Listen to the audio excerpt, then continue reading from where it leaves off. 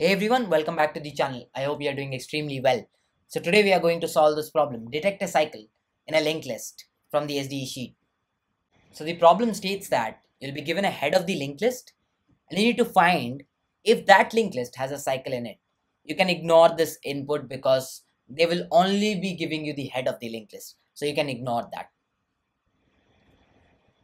So in the first example, you can see there is a cycle as basically from 3 2 4 7 5 from 5 you again come back to 3 so there's a cycle in the first example. And in the second example you can see that there is no cycle and the linked list is pointing to null at the junction. The naive approach that you should give at the first is to use hashing. What you do is you create a hash table right? And you take a dummy node. So what you do is at first you have one you check.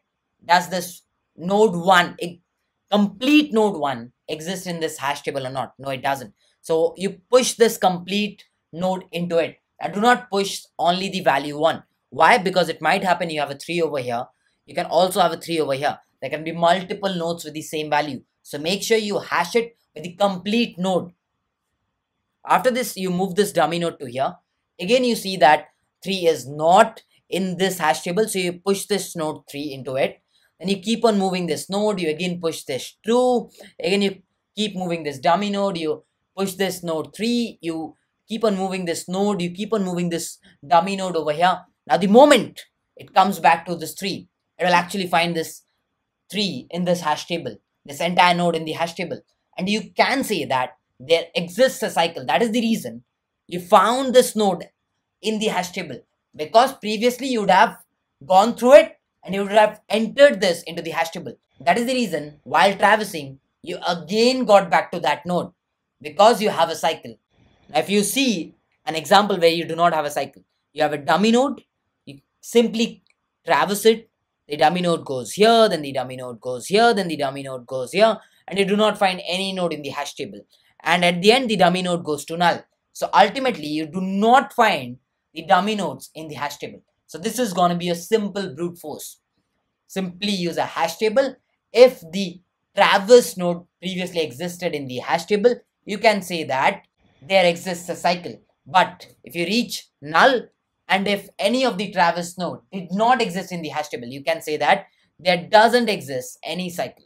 So if I talk about the time complexity, the time complexity is going to be big O of n, but the space complexity used for the brute force will be big O of n because you're using a hash table to store all the nodes.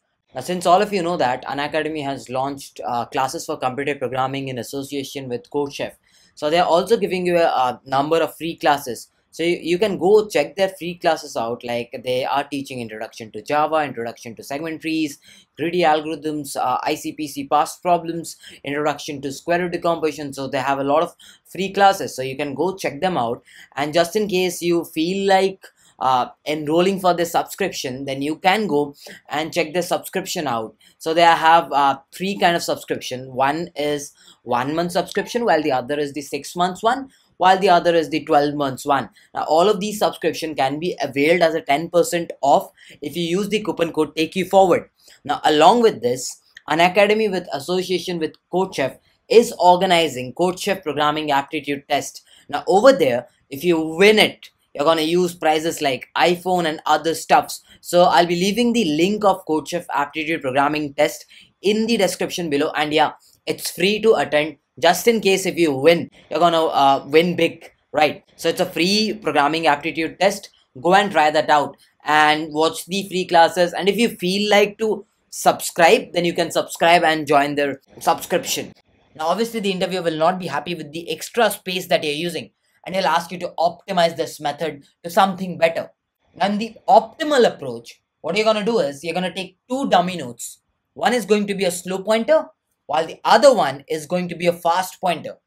And you're going to move the slow pointer by one step and you're going to move the fast pointer by two steps. So the slow pointer will go here and the fast pointer will go here at the first step. At the next step, the slow pointer will go here and the fast pointer will reach here. That is the second step. Now the third step, the slow pointer will go here and the fast pointer will reach here. Now the next step, the slow pointer is gonna go here and the fast pointer is gonna go here. Now the next step, the slow pointer goes here and the fast pointer goes here. Now there is a certainty that your slow pointer and the fast pointer is gonna meet if there is a cycle.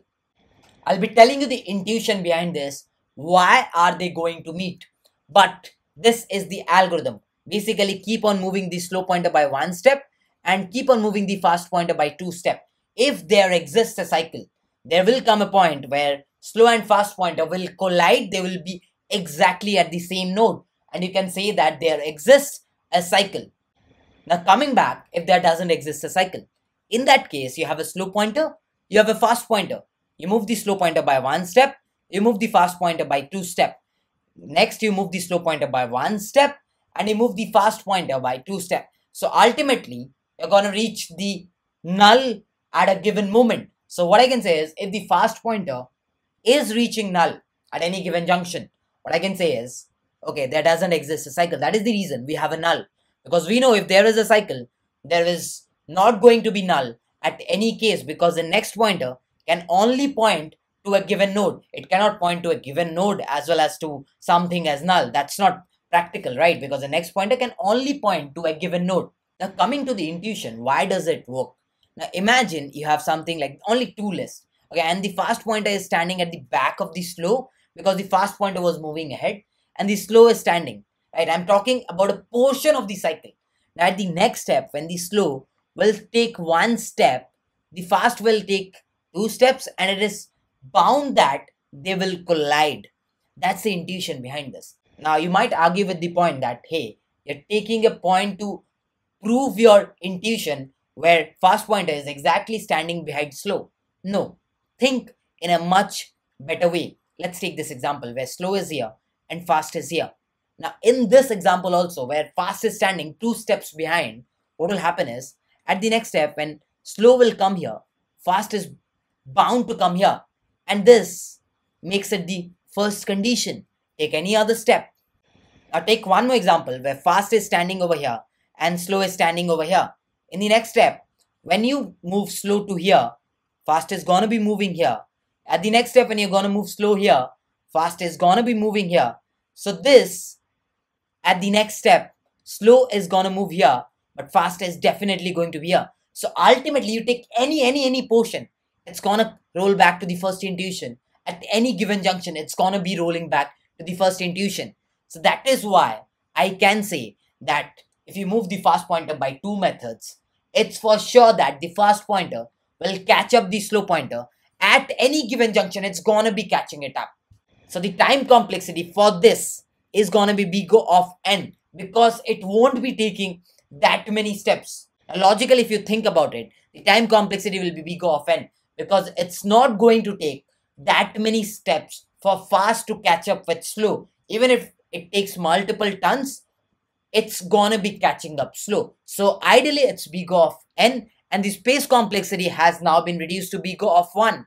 Now it's time to discuss the C++ as well as the Java solution to this. Now in the Java solution, you're given the head of the linked list. So at first you check if the given linked list is empty or not. If it is empty, what you do is you return a false.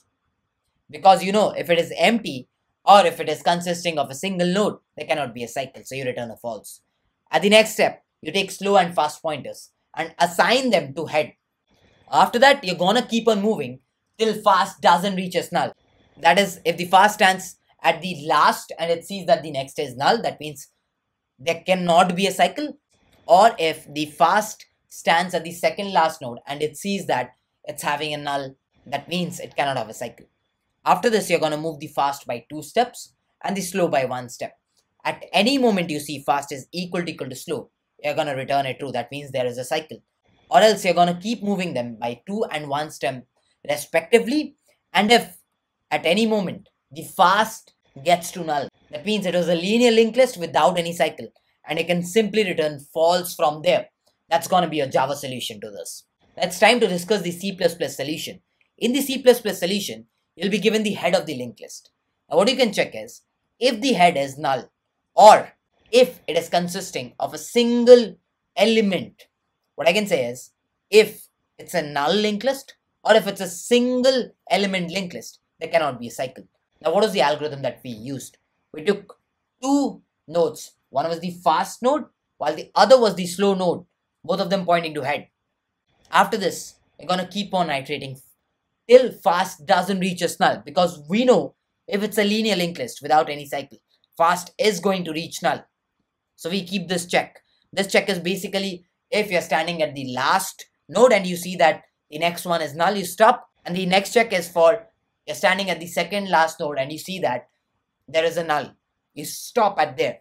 If it is not, you go inside and you move the fast by two pointers and the slow by one pointers in every step.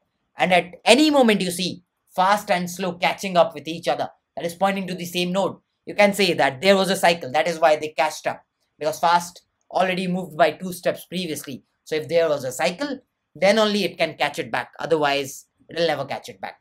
Once this entire operation is over, what I can say is if this while would have completely executed and this line would not have been executed, that would mean that it was a linear linked list and I can return a false, which means there was no cycle in that given linked list. So guys, that was it for this video. I hope you understood the entire explanation as well as the code. So if you did, please, please make sure you like this video. And if you're new to our channel, do not forget to subscribe to it. With this, I'll be wrapping up this video. Let's meet in the next video where I'll be discussing the next problem from the SDE sheet.